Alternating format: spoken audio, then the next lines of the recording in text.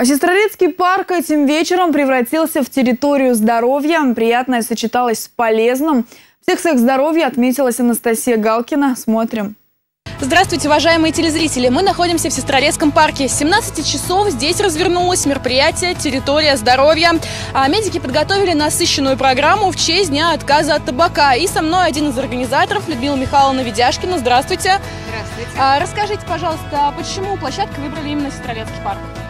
Сегодня Всемирный день без табака, то есть мы должны охранять свое здоровье. В настоящее время Сестрорецкий парк является большой территорией, где мы можем заботиться о своем здоровье, проводятся спортивные соревнования. Людмила Михайловна, расскажите, какая программа ждет гостей парка?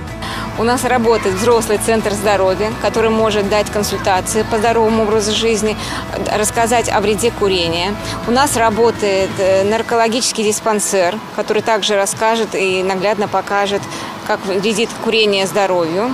И работает детский центр здоровья, который оберегает наших деток. Мы сохраняем здоровье. Наталья Геннадьевна, расскажите, пожалуйста, что у вас вот на столе, а, что вы делаете? Это мы из детской поликлиники, Центр здоровья. У нас есть такой аппарат, который показывает процентное соотношение угарного газа в выдыхаемом воздухе. Если человек курит, если он является пассивным курильщиком. Все. Два промилле. Нет, ну это от шестерки начинающий курильщик. В принципе, неплохо, но лучше, конечно, чтобы был ноль.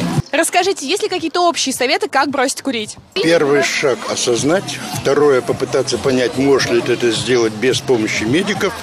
Третье, если это сложно, да, записаться на прием к любым специалистам, занимающимся этим. Это наш центр здоровья, это наркологи, это психотерапевты.